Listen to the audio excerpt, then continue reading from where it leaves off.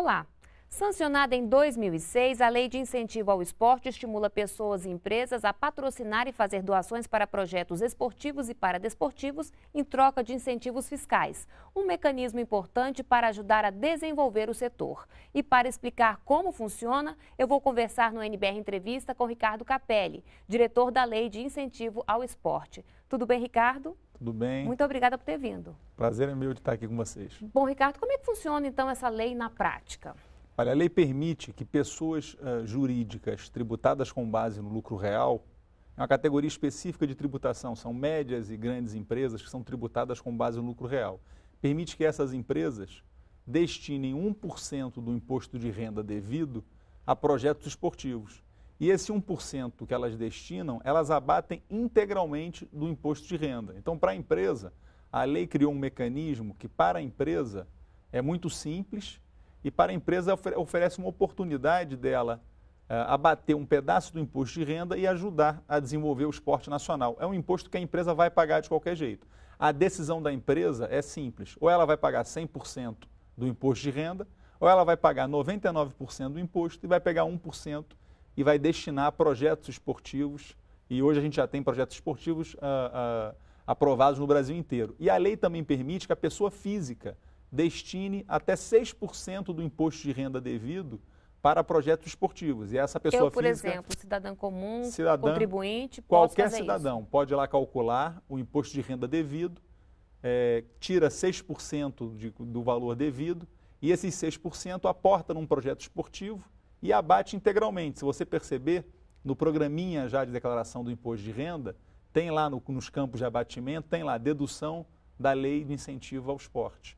Então, tanto a pessoa física quanto a pessoa jurídica podem ajudar a desenvolver o esporte nacional. Agora, no caso das empresas, né, pessoas jurídicas, jurídicas também é importante porque é uma publicidade para eles, né? É, a empresa ela pode veicular livremente suas marcas, as suas imagens, uh, livremente. Ela, aportando no projeto, ela pode veicular sua marca e sua imagem.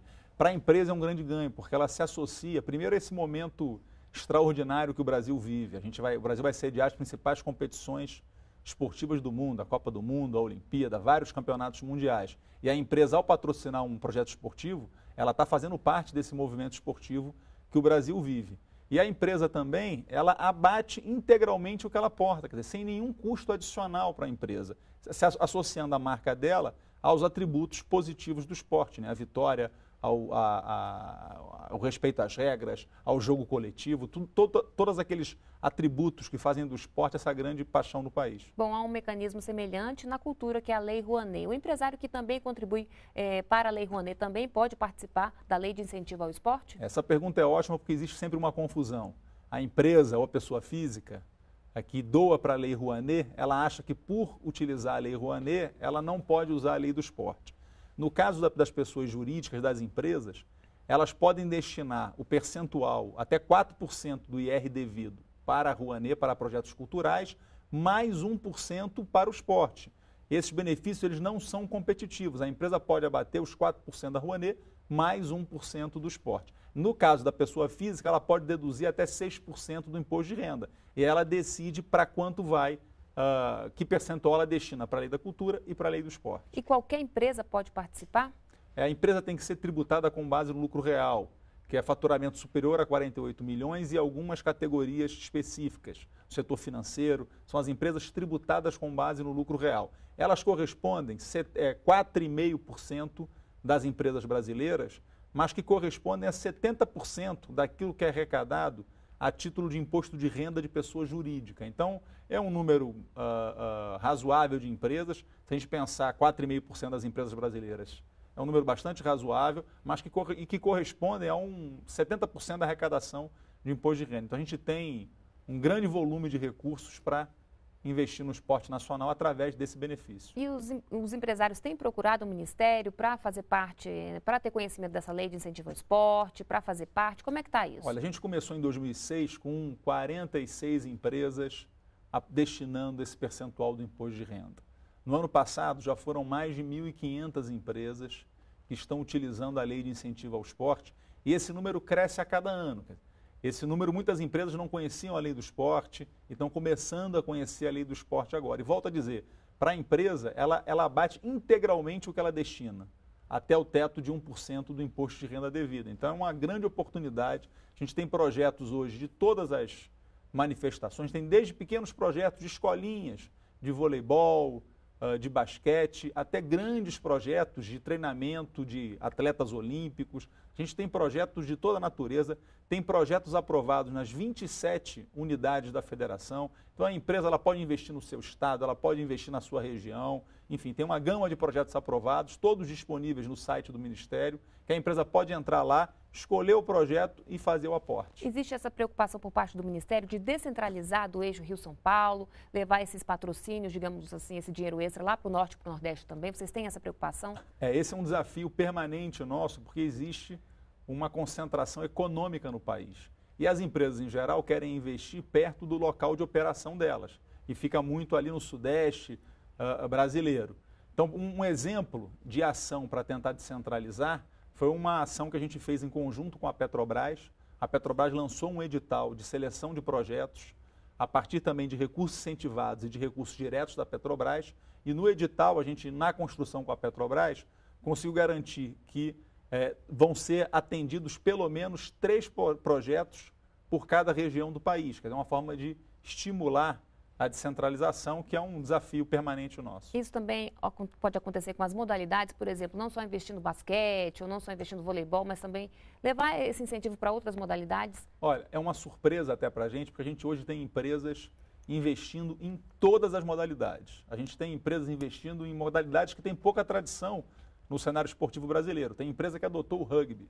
Quer dizer, o rugby que tem é, pouquíssima tradição no cenário esportivo brasileiro, vem crescendo, vem fazendo um belo trabalho, mas tem pouca tradição. A gente tem empresa hoje investindo em badminton, que muitas pessoas ainda não, nem conhecem direito essa modalidade esportiva. Então a gente tem uh, investimentos em todas as modalidades, um grande número de modalidades, de forma que o cenário é muito diversificado, tanto de empresas que procuram projetos diversos, quanto de projetos já aprovados também de diversas modalidades. E qual é o passo a passo para poder fazer parte da lei de incentivo ao esporte? O que, que a empresa, o empresário que ficou interessado, o que, que ele tem que fazer? Olha, para a empresa é muito simples. No site do Ministério, no www.esporte.gov.br, tem um link, lei de incentivo. Lá tem uma, entrando nesse link, tem lá projetos aprovados. E você pode selecionar por manifestação, se você quer um projeto de esporte educacional, você seleciona lá. Se você quer um projeto de esporte de alto rendimento, de formação de atletas, você seleciona. Você pode selecionar o estado, o ano, e aí tem lá a lista de projetos aprovados. Cada projeto aprovado, para cada projeto aprovado, é aberta uma conta específica.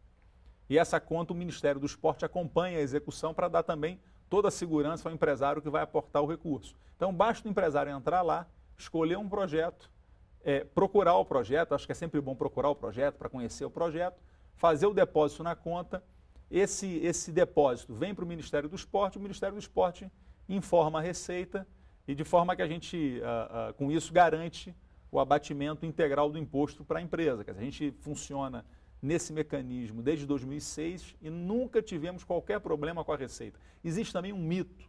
Tem umas empresas uma certa fantasia, é um boato. Tem empresas que acham que, ah, não, eu vou usar a lei de incentivo e aí a Receita Federal vai ficar no meu pé. Vai ficar no meu pé, vai querer me fiscalizar mais do que já fiscaliza normalmente. Isso é um mito.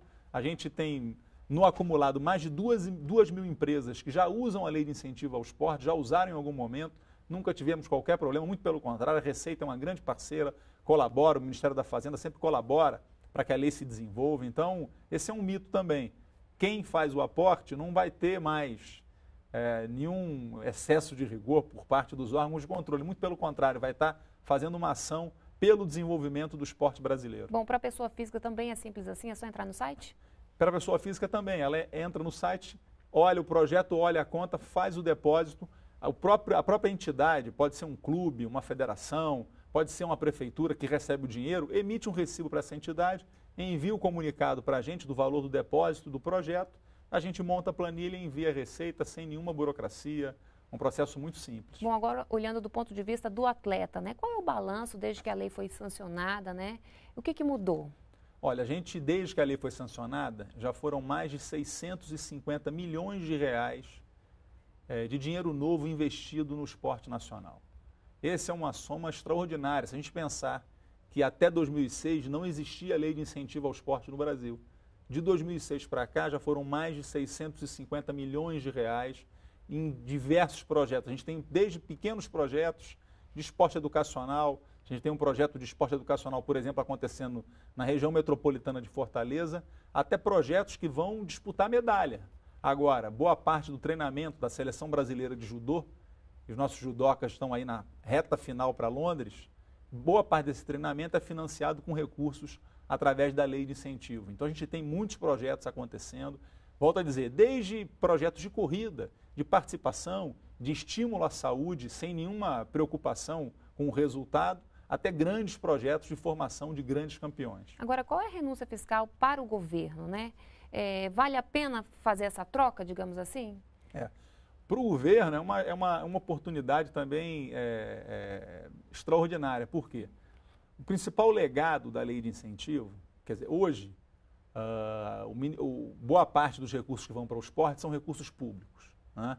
E o nosso desafio ao fazer Copa, ao fazer Olimpíada, é deixar legados para a sociedade brasileira.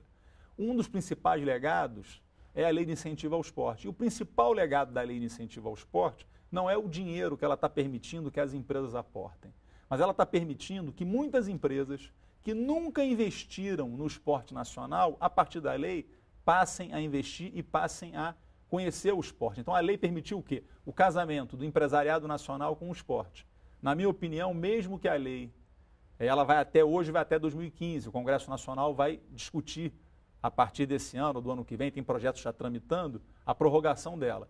Mas mesmo que a lei acabe, eu tenho certeza que essas empresas, que uma vez, utilizando a lei de incentivo, investiram no esporte, eu tenho certeza que elas, de alguma forma, vão continuar apoiando o esporte nacional. O grande legado é esse casamento que a lei permite entre o setor empresarial e o esporte. A gente tem exemplos de empresas, tanto públicas quanto privadas, que nunca tinham investido no esporte nacional e que agora estão investindo no esporte, estão gostando de, de, de ver suas marcas, suas imagens associadas ao esporte. Eu tenho certeza que esse casamento, com ou sem lei, ele vai continuar. Esse é o principal legado da lei de incentivo. Bom, para a gente encerrar, o governo trabalha com metas, né? Você disse que até 2015, a lei vai até 2015, pode ser que ela seja prorrogada ou não, mas até lá, tem metas? Olha, a gente, a Receita Federal, a, a, o Ministério da Fazenda, melhor dizendo, nos estabelece um teto anual de 400 milhões de reais de renúncia. No primeiro ano foram captados algo em torno de 50 milhões. A gente, em 2011, já chegou a 220 milhões. A gente quadruplicou o número de recursos investidos pelas empresas uh, nesse curto período de tempo. Mas a gente ainda está longe do teto de 400 milhões. O nosso, a nossa meta é chegar o mais breve possível a esse teto de 400 milhões, é usar plenamente esses recursos que estão disponíveis para que a gente possa desenvolver ao máximo esse potencial esportivo brasileiro que é extraordinário. Tá certo. Muito obrigada pela sua presença aqui no NBR Entrevista. Eu, eu que agradeço a oportunidade. Muito obrigado. Outras informações na página do Ministério do Esporte. Já para rever essa entrevista, basta entrar no endereço que aparece agora, aí na sua tela. Muito obrigada pela companhia e até o próximo programa. Continue com a gente aqui na NBR e a TV do Governo Federal.